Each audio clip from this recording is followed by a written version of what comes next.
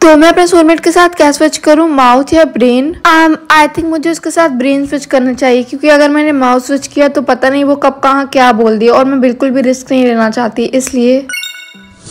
Mummy मैं school जा रही हूँ। ठीक है बेटा अपना ख्याल रखना। मिंकी रुको तुम उस तरफ़ क्यों जा रही हो? तुम्हारा स्कूल राइट साइड है ना कि लेफ़्ट साइड क्या तुम अपने ही स्कूल का रास्ता भूल गई? नहीं मैं बस थोड़ा थकी हुई हूँ। मैं अपने स्कूल का रास्ता कैसे भूल सकती हूँ? हाय मिंकी। हे आम तुम्हें स्कूल का रास्ता पता है ना? चलो ना साथ में स्कूल चलते हैं। पर क्यों? क्या तुम्हें रास्ता नहीं पता? पर तुम तो अक्सर पैदल चल के स्कूल जाती हो। हाँ पर आज मुझे थोड़ा अजीब फील हो रहा है तो क्या तुम मुझे ले चलोगी? हाँ क्यों नहीं? चलो। मुझे बहुत ही अरे मिंकी तुम आ गई जल्दी यहाँ हमें तुम्हें कुछ बताना है। सॉरी गर्ल्स पर मुझे अभी वॉशरूम जाना है। तुम लोग मुझे ऐसे क्यों देख रहे हो? मिंकी तुम बॉयज़ टॉयलेट में क्या कर रही हो? um सॉरी गाइस गलती से मिस्टेक हो गई स्टूडेंट्स आज तुम सबका सरप्राइज़ टेस्ट है और ये टेस्ट बहुत ही ज़्यादा इंपॉर्टेंट है तो ध्यान रहे कि तुम सब सारे क्वेश्चन अटेम्प्ट करो। ये कितना इजी है। टेस्ट में फेल होने के लिए गुड लक मिंकी क्योंकि हम सब जानते हैं कि तुम कितनी स्टूपिड हो।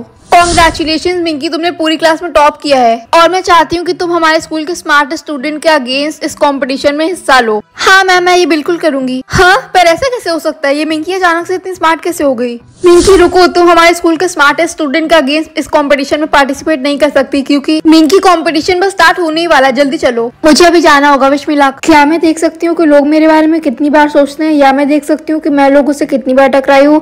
आई थिंक ये जानना ज़्यादा इंटरेस्टिंग होगा कि लोग मेरे बारे में कितनी बार सोचते हैं। मम्मी, मैं स्कूल जा रही हूँ। हाँ तो जहाँ जाना है, जाओ, मुझसे क्या मतलब? सच में? क्योंकि यहाँ तो दिखा रहा है कि आप मेरे बारे में कुछ ज़्यादा ही सोचती हैं। क्या पर ये तुम्हें कैसे पता? क्योंकि मैं देख सकती हूँ कि लोग मेरे बारे में कितना सोचते हैं। लगता है सिटी में सब लोग मुझे जानते हैं। क्या इसका मतलब ये है कि मैं फ़ेमस हूँ? वाह ये कितना कूल है। हटो यहाँ से तुम्हारे जैसे लोग इस रेस्टोरेंट में नहीं आ सकते।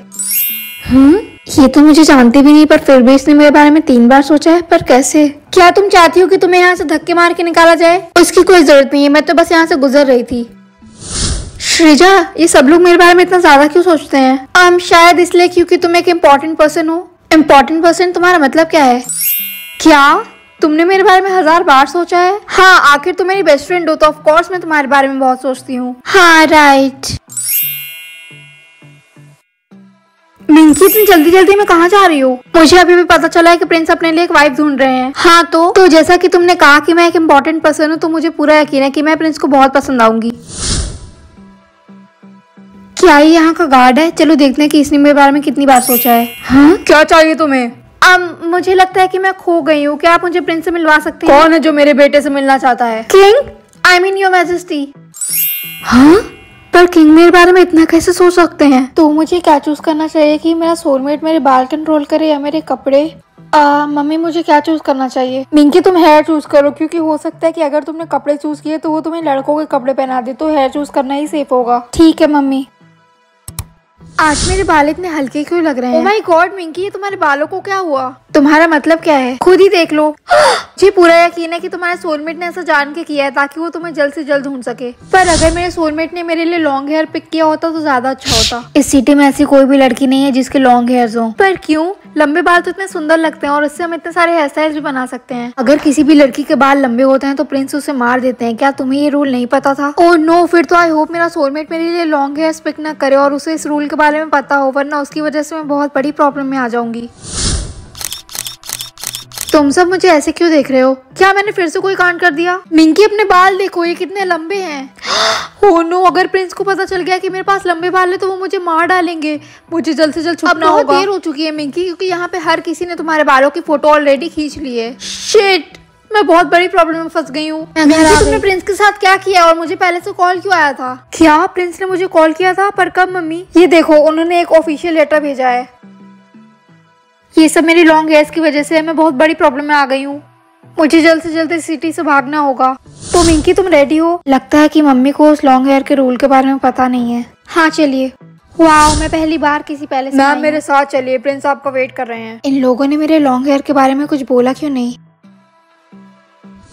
एक्सक्यूज मी योर मैजेस्टी मेरा नाम मिंकी है राइट बाय द वे तुम्हारे बाल बहुत सुंदर हैं। मेरे लॉन्ग हेयर के लिए सॉरी प्रिंस पर ये मैंने नहीं बल्कि मेरे सोलमेट ने किया है। हाँ मुझे पता है और इसीलिए तो तुम्हें यहाँ बुलाया गया है। तो मैं क्या चूज़ करूँ ग्लिटरी पिंक हेडबैंड या सिंपल पिंक हेडबैंड um, क्योंकि मुझे सिंपल चीज़ें ज़्यादा पसंद है इसलिए मैं ये वाला चूज़ करूँगी। हम्म ये तो काफ़ी क्यूट है। टोटल डेट क्या इसका मतलब ये है कि मैं देख सकती हूँ कि लोगों के ऊपर कितना कर्ज है? गाइस क्या तुम लोगों को पता है कि मैं इस स्कूल की सबसे ज़्यादा रिच स्टूडेंट हूँ? क्या तुम श्योर हो? हाँ मिंकी तुम ऐसे क्यों पूछ रही हो? पहले अपने कर्जे तो चुका दो फिर तुम कह भी सकती हो कि तुम रिच हो। ओह तो तुम्हारे ऊपर कर्जे हैं? मैं ये जान के बहुत हैरान हो रही है मुझे तो लगा था कि तुम रिच हो। गाइस ये झूठ बोल रही है। क्या तुम हो जिसने क्लास के पैसे चुराए हैं? नो सर सर आप रॉकी पर क्लास के पैसे चोरी होने का इल्ज़ाम क्यों लगा रहे हैं? क्योंकि उन पैसों की देख रेख यही कर रहा था। हाँ ये तो उतने ही पैसे हैं जितने हम सबने क्लास के लिए इकट्ठा किया था। क्या आप श्योर है कि आपने वो पैसे नहीं लिए हैं? क्योंकि आपके ऊपर बीस हज़ार रूपए का कर्ज है। मिंकी ये तुम्हें कैसे पता? क्योंकि मैं लोगों की डेट देख सकती हूँ और आप तुरंत हमारे पैसे वापस करिए वरना मुझे आपकी कंप्लेंट प्रिंसिपल ऑफ़िस में करनी होगी। मिंकी तुम्हें पता है हमारी क्लास में एक न्यू स्टूडेंट आया और उसका कहना है कि वो बहुत गरीब है तो क्या तुम प्लीज़ चेक करके बता दोगे कि उसके ऊपर कितना कर्ज हाँ, है नहीं? मैं अभी जाकर उससे बात करती हूँ। हे तुम ही हो ना वो न्यू स्टूडेंट हाय मेरा नाम मिंकी है। हाय मेरा नाम करण है। हम्म चलो देखते हैं कि इसके ऊपर कितना कर्ज है।